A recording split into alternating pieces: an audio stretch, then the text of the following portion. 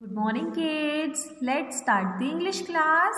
Kids in English, today we are going to learn position word.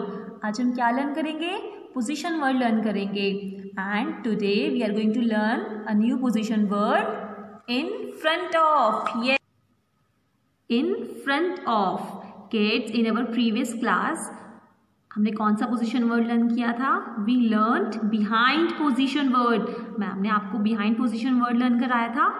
And what is the meaning of behind क्या था behind का meaning पीछे।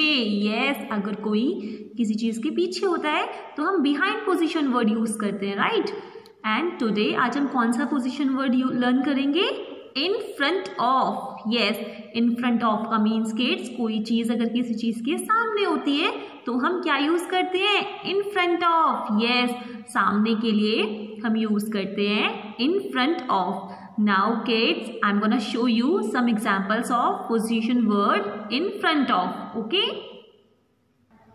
see kids what is this a house yes ये क्या है? घर है ना? एंड अगर हम क्या करेंगे हाउस के आगे अगर हम कोई चीज़ आ जाएगी तो हम क्या यूज़ करेंगे?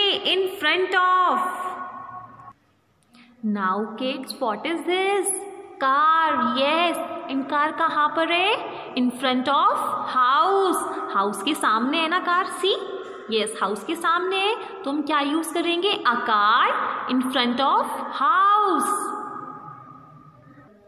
now see kids what is this tree what is this क्या है ये tree and see what is this elephant yes elephant in the front of tree elephant कहाँ है? ट्री के सामने है ना?